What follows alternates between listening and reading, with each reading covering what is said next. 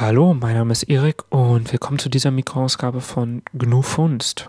Ähm, wenn ihr euch jetzt fragt, wer ist Erik, mag das berechtigt sein. Ich trete sonst vielleicht nicht so in Erscheinung. Ich bin der Typ, der sich halt so ein bisschen um die Grafik und Video- und Audiosachen bei GNU Funst kümmert.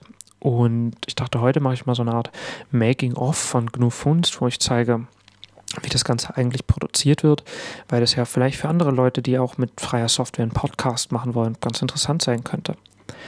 Das Ganze werden wahrscheinlich drei Episoden. Heute in der ersten gucken wir uns mal an, wie die Aufbereitung der Rohdaten funktioniert, also wie die Videos so konvertiert werden und vorbereitet werden, dass man sie in Blender nachher schneiden kann und wie das Audio halt vorbereitet wird, die verschiedenen Spuren zusammengemischt werden, dass das auch nachher als Audiospur im Blender benutzbar ist.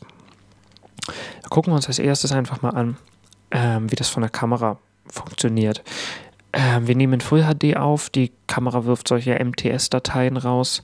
Das sind MPEG 2 Transport Streams einfach nur, also da steckt Full HD MPEG 2 Video drin. Und ich mache mal so ein Link auf, dann sieht man mal, äh, wie das aussieht. Und da, da, sieht man halt auch schon die Probleme. Also, wenn man hier drin spult, ähm, kommt es ganz schnell zu, zu ganz vielen Artefakten, was natürlich für einen Videoschnitt überhaupt nicht gut ist, da man viel drin spulen wird. Außerdem hat das Video hier 60 Frames pro Sekunde, ist interlaced und hm, das ist alles nicht wirklich geeignet. Das heißt, das Erste, was ich mache, ist, ähm, ich konvertiere das in ein etwas passenderes Videoformat. Habe mir dazu so einen kleinen Einzeiler geschrieben hier, ähm, der das gleich mit allen Dateien im Ordner macht. Ähm, benutze dazu avconf. Die interlace das Ganze, ähm, nehme das Audio mit drüber, da ich das nachher zum Synchronisieren benutze.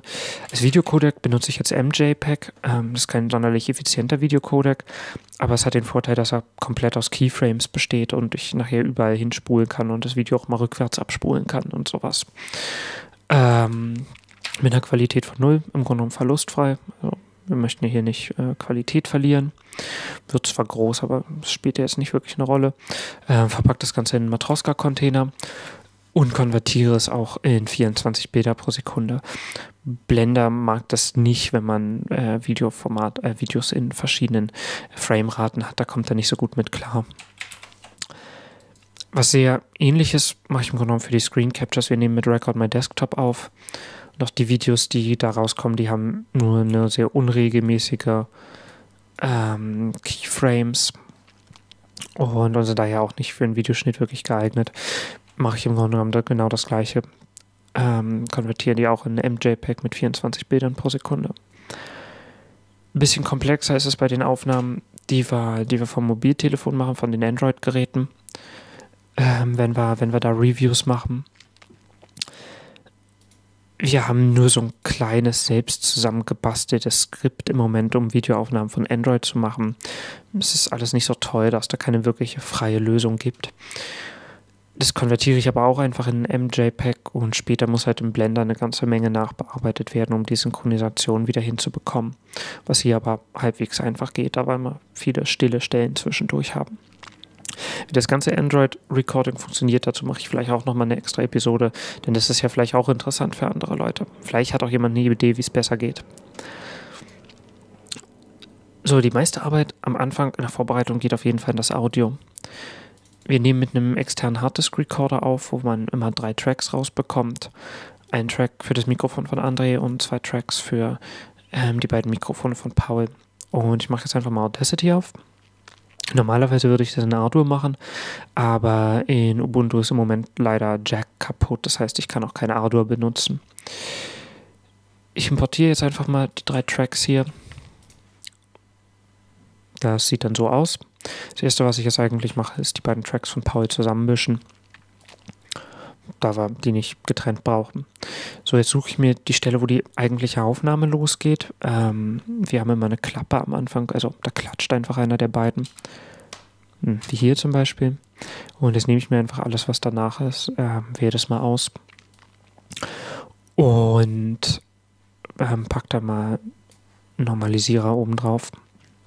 Jetzt können wir das Ganze erstmal ein bisschen besser sehen. Ich lasse all die Sachen hier vorne drin, weil der Peak von der Klappe ist sehr praktisch, um das später richtig zu synchronisieren im Blender mit dem Audio-Track, der von der Kamera aufgenommen wird. So, dann gucke ich mir das mal hier an und man sieht halt schon so ein paar Probleme. Andres ist, ist im Generellen sehr viel leiser, ist es von Paul. Und wir haben halt hier diese irre lauten Peaks drin, wo das Telefon klingelt, was halt sehr viel lauter ist als die Umgebung. Genau. Und was ich darum jetzt erstmal nehme, ist dieses, dieses Hüllkurvenwerkzeug hier und ich bearbeite das einfach mal so ein bisschen nach, mache das ein bisschen leiser. Da kommt zwar später auch noch ein Kompressor über alles drüber, aber solche Sachen, die, die sehr gezielt sind, kann man im Generellen besser von Hand machen, ohne das ganze Audio tot komprimieren zu müssen. So.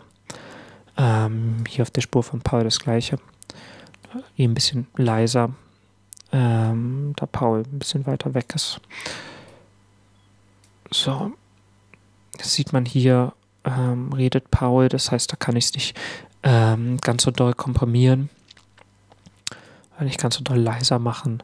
So, hier ist das, denke ich, ganz okay. Äh, mal anhören. Genau. Ich muss da mal ganz kurz ran. Holla, du hast dein Telefon. Ja, es ist nicht perfekt. Normalerweise würde ich da ein bisschen mehr Zeit drin investieren. Aber für, Zwecke reicht's. Ähm, jetzt gucken wir mal, wo wir sonst noch so ein paar Problemstellen vielleicht haben. Also hier hinten ist halt noch ein recht lauter Peak. Äh, mal anhören, was das ist. Na, da kriegen wir so ein bisschen Feedback bei der Videotelefonie. Äh, nehme ich mir jetzt auch einfach das Hüllkurvenwerkzeug und, und mache das ein bisschen leiser. So, hier. Und bei Paul das gleiche. Es ist einfach sehr viel angenehmer anzuhören, wenn man da nicht so laute Sachen drin hat. Wir wollen den Leuten ja keine Ohrenschmerzen machen. Jetzt gucken wir mal noch. Hier hinten ist es ziemlich laut nochmal. Äh, mal schauen, was hier passiert. Ups. Und das. Ich brauche das Tool hier. Ähm. Ach Gott, wo bin ich denn jetzt hier? So, mal schauen. Ich hatte kurz wieder die ja, das gehört schon gar nicht mehr zur Aufnahme dazu. Das ist in Ordnung. Ähm, das hier können wir im Grunde genommen ähm, mehr oder weniger einfach auch mit dem, mit dem Tool wegmachen. Dann, dann fällt das wenigstens bei der, äh, bei der Nachbearbeitung und beim Kompressor nicht mit ins Gewicht und beim Normalisieren. So.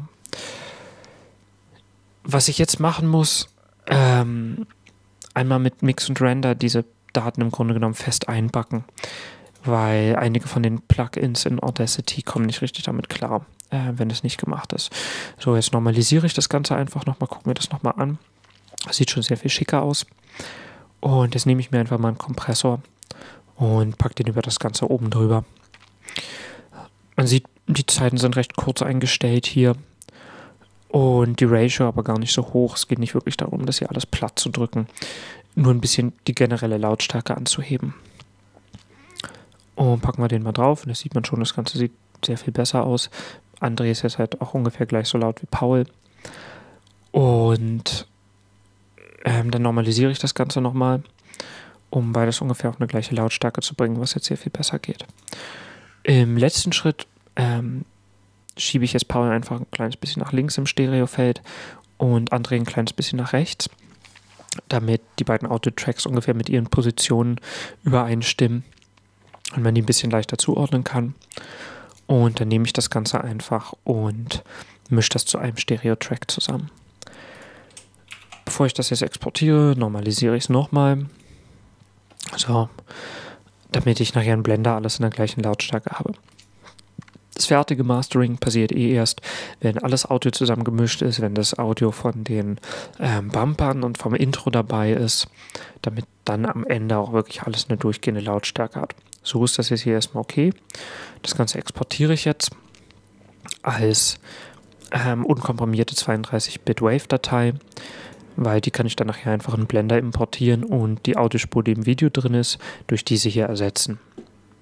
Ja, das war es erstmal fürs Erste. In der nächsten Episode gucken wir uns an, wie dann das Video geschnitten wird. Und in der letzten Episode gucken wir uns an, wie das Video encoded wird und wie die kleinen Bumper und so gemacht sind und was sonst halt noch so an anderen Sachen mehr einfällt. Bis dahin, äh, schöne Woche noch und man sieht sich.